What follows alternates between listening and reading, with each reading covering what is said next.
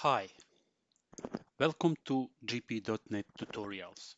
My name is Bahrudin and this is the lesson 5 of GPdotNET Tutorial.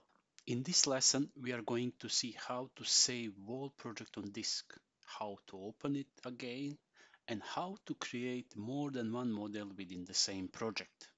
The lesson starts from the previous lesson, so since the training process is still running, we can stop it whenever we want, or we can stop it when we decide the model is best for us.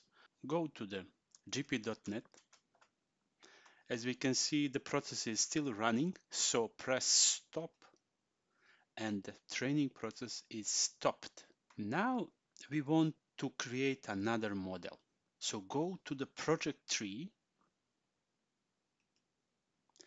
change the number of rows for testing to 30 and press new model. Now we have another model within the same project. So name it as GP02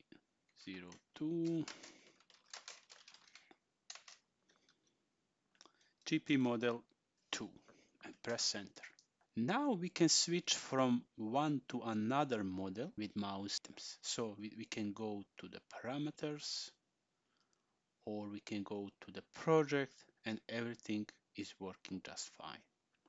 The, for the new model, go to the function set and select 1 over x function. So this model will have function set defined of five functions. Go to the GP parameters and change the number of constances to 3. Also change the population size to 800. Now go to Run page and press Start Training. When the training process is started, the Model 3 item changed, changed its icon into different one so user can easily detect which model is training. Once we get good model, we can stop training process and now we can save the project into file. So click on save command and name it and press save. Now we can also the close model by selecting close command and now the model disappeared from the GPdotNET.